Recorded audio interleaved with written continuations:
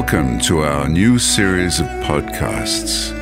Harmonyus is proud to present Michael Francis Lott in conversation with me for a deeper exploration of the book Notes from the West Pole.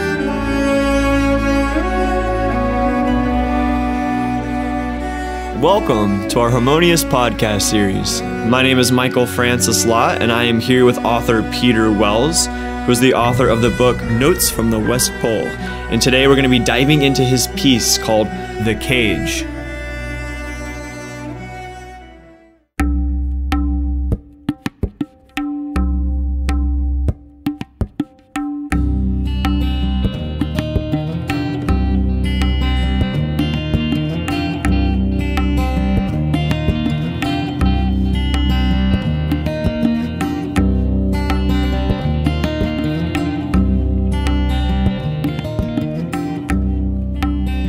Not far from here, there is a cage with hundreds of unhappy people locked inside. Outside the cage, armed guards are watching. A boy is trying to squeeze out through the bars of the cage. The boy's mother is embarrassed as people around her snarl angrily. She pulls him back and scolds him. If you go out there, bad things will happen, she says. You could die. But again and again, he tries to escape. And again and again, she scolds him. Then, one night, when the moon is full and everyone is sleeping, the boy sucks in his breath. He squeezes and squeezes, and the bars seem to bend. Suddenly, he's through. He's outside the cage. A guard lies snoring next to the gate. He's chained to the cage.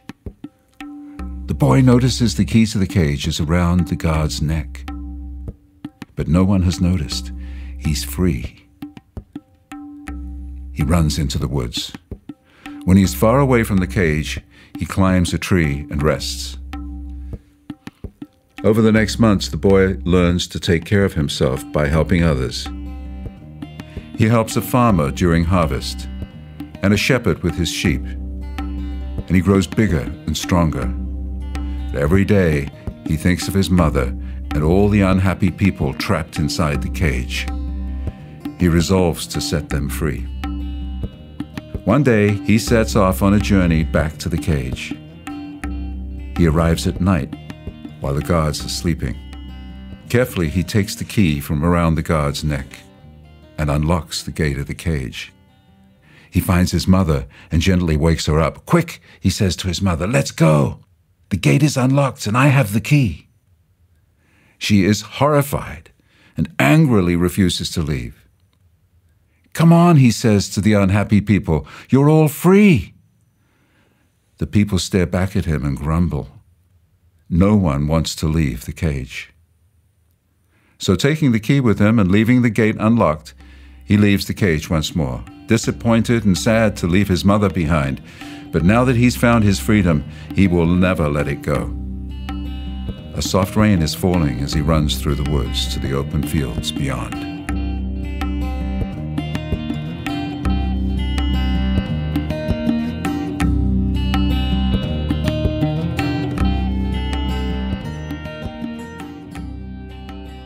So, would you mind kind of going into this parable a little bit more?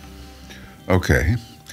Well, the, the it is a parable, and it's the cage represents the limitations that we impose on ourselves. The boy is not imposing that limitation. He squeezes through the bar of the cage in order to free himself from the limitations. He's held back by the guard who has a gun and is actually snoring as we see him. But um, his freedom is freedom from the teachings and the impositions that he's been fed. Mm. And the mother, who does not want to leave the cage, nor does any other person in this cage, th- that person, or those persons, the mother included, have accepted these limitations on their existence And the fear of death is a big one because the mother is concerned with the safety of her child.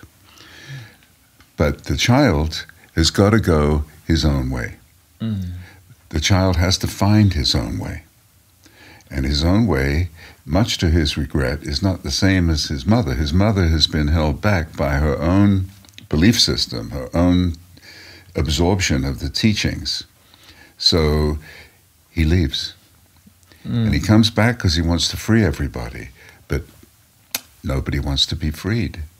They've got their belief system, they have their religion, they have their politics, they have their values, and they don't want to give those up. Mm. He goes and takes the key from the guard's neck and re enters the cage using that key. And then he leaves the key behind when he goes. So the key is available to exit the cage anytime somebody wants to pick it up. So, in kind of bringing this to our lives and our experience, the boy has this key that frees him from the illusions or the confines of the culture. So, what is that key in regards to our own lives? What is that thing that frees us from the limitations of this world? Entering the unknown. Mm. It's, it's a matter of the, the whole of our lives is not prescribed the rule of law, which is absolute and over everyone, which is also punitive and kind of dangerous, uh, the boy is leaving behind th- those restrictions and entering into his own unknown. He doesn't know what's out there. And the unknown for him is fa- more favorable than being back in the cage and limited, in effect, by his mother's belief system or the people's belief system. Mm. So his freedom is into the unknown, mm. the acceptance of the unknown as compared to the limitations of a known um, kind of obedience. Yeah, now I'm thinking that in regards to my own life and my own experience, there's some fear that comes with stepping out on the limb and going into that place of the unknown because I believe that the unknown is kind of that thing that we project all of our unconscious fears onto. So, how does one get past the barrier of their own fear and moving into that mysterious place? Well, the boy doesn't have that fear. He has, he's enabling himself to go out into the unknown without the fear. Um, the fear is something that we bring with us that comes from our childhood or comes from a teaching. We've been denied certain things. We've been told that we mustn't do this and we mustn't do that. And the boy uh, is on his own journey and he's not listening to his mother. He's not paying attention to the God who is armed. He's not scared of that his determination is to be himself, to follow his own path, and to not by limited, be limited by, um, in effect, old teachings. So you're kind of saying basically to attune to your own intuitive inner intelligence and follow that above any outside influence. Absolutely. That's basically what you're saying. That's what I'm saying. Mm. Yeah. And that the boy is in the best position to do that. He can leave behind the restrictions more easily than the adult can. The adult is still fearful, still thinking about what happens if I go into the unknown. I don't know what's going to happen. I don't want to not know. I want to know. Well, it's not possible.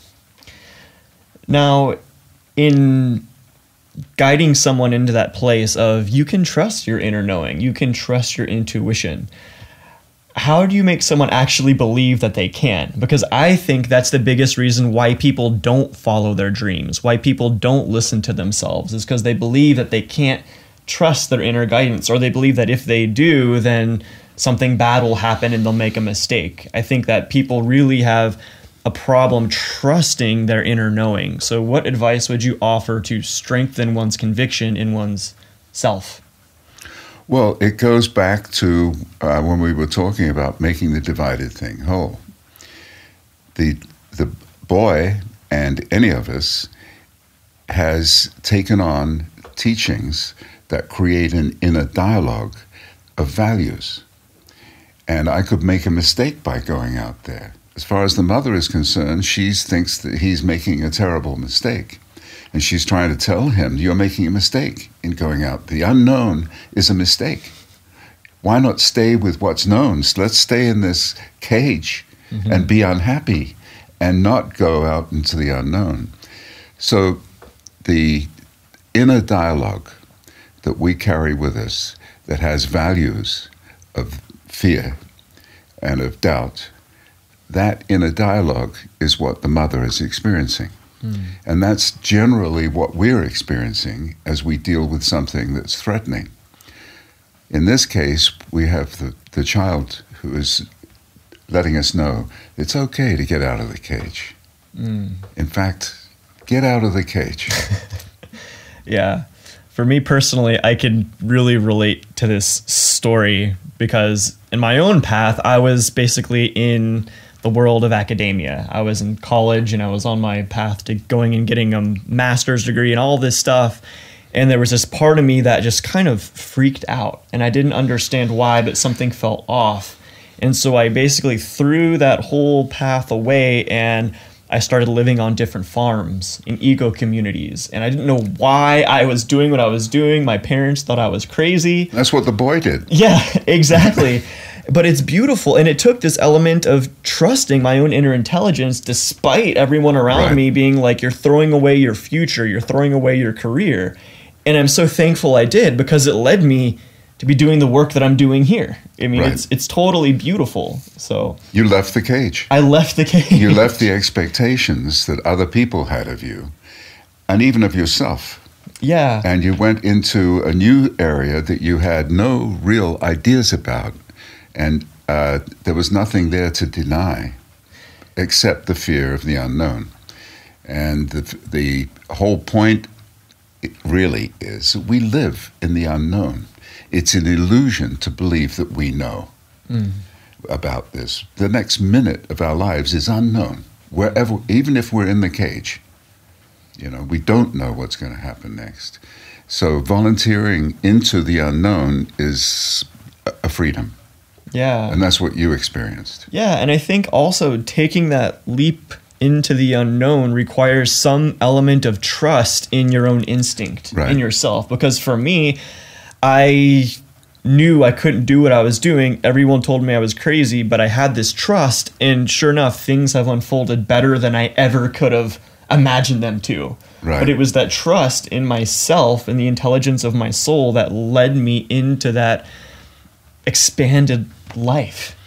I think it led you, but the other thing that happened was that you were being restrained and held back, and your own development was your need, mm-hmm. and that was what you had to pursue. And the ideas that are associated with and the fear, the denial, the holding back uh, didn't work. Right. And the unknown was a much safer place in fact, funnily enough, even though it's not safe. Nothing is really safe, you know? Yeah. So uh, we're living this life according to our own intuition, and that inner being that you heard is, is the one. And yeah. we all have that. We all have that inner being. And we all have the same intelligence, actually, coming from the source, and we're using that. And if we allow ourselves to feel our whole being, then we give direction to ourselves and we know what to do. Mm. If we're listening to somebody else telling us what to do, who has expectations or fears, then we're not going to satisfy ourselves. We have to fulfill the life we're living. That's the game. Mm. So beautiful. Wow. Thank you so much, Peter. My pleasure.